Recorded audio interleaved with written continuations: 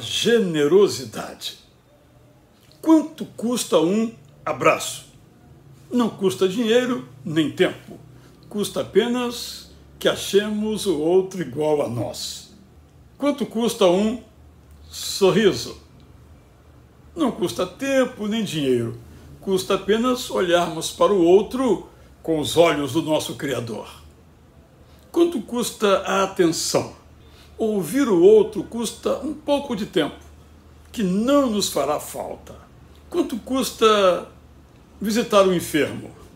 Ir a um hospital custa tempo, que será multiplicado, como se tivesse ocorrido um milagre. Quanto custa receber uma pessoa? Receber uma pessoa em casa pode custar tempo e dinheiro, que são transformados em momentos inesquecíveis em torno da mesa. Se estas coisas nos são difíceis, é porque não aprendemos a viver. Se não aprendemos, é imoral culpar o passado por não termos sabido, já que somos autores do nosso presente. O primeiro passo da aprendizagem é vermos como temos agido. Ao observarmos as atitudes dos outros, devemos refletir sobre as nossas. Talvez nos reprovemos. Quando nós nos reprovamos, geralmente damos como desculpas a falta de tempo ou a falta de dinheiro. Temos de ter coragem e afirmar que desculpas são o que são desculpas. Podemos aprender a ser generosos. A generosidade é boa para os outros e para nós. Aprendamos o que a Bíblia nos diz.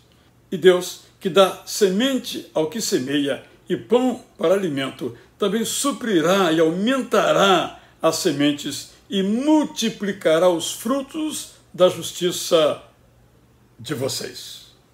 Eu vou orar agora nesse sentido. Senhor, nós aprendemos com o apóstolo Paulo, mas, sobretudo, aprendemos com Jesus que é mais bem-aventurado dar do que receber. Ah, Senhor, nós sabemos, mas nosso negócio é receber.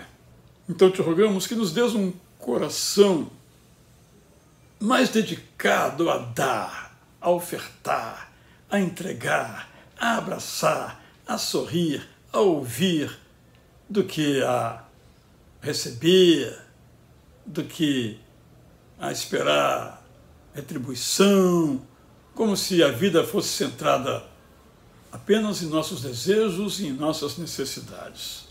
Dá-nos um coração igual ao de Jesus. Em nome dele que nós oramos. Bom dia! Espero você mais tarde, quando vou explicar a lei da semeadura.